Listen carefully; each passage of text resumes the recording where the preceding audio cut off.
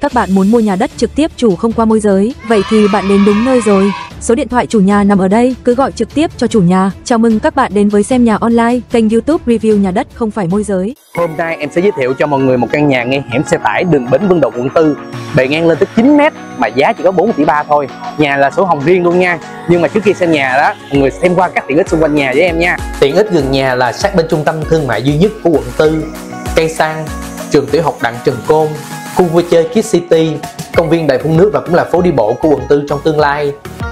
Phía trước mặt mình là mặt tiền đường Khánh Hội nè mọi người. Mọi người quẹo vô cái đường số 46 á, đó xong rồi mọi người đi thẳng nha. Đi thẳng đâu đó tầm khoảng chừng là 300 m đó là mọi người quẹo tay phải nè, tới cái ngã tư này, mọi người quẹo tay phải. Sau đó là đi thêm tầm khoảng chừng 10 m nữa, nhìn bên tay trái là sẽ thấy căn nhà ngày hôm nay nha mọi người. Đây là căn nhà mà ngày hôm nay em muốn giới thiệu cho mọi người nè thì nhà mình đó là đường trước nhà là xe tải xe hơi tới tận nơi nha. Cái chỗ đó là đường số 46 á mọi người. Còn nếu đi thông qua đây là đường số 50 thì trước nhà mình là không có lỗi như là cống hay cột điện gì hết nha không bị lỗi phong thủy gì hết nha. Thì uh, diện tích giá cả và thông tin nhà em để bên góc trái video. Nhà mình có một lợi thế rất lớn đó là cái bề ngang nó 9 mét luôn nè mọi người thấy không? Bề ngang lên tới 9 mét luôn nha. Đó cho nên là tha hồ kinh doanh nha mọi người.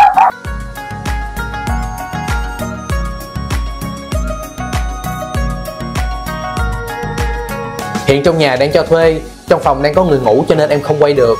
Phía bên phải là một phòng ngủ, bên trên là thêm một phòng ngủ ở trên gác và bên trái là có một nhà tắm.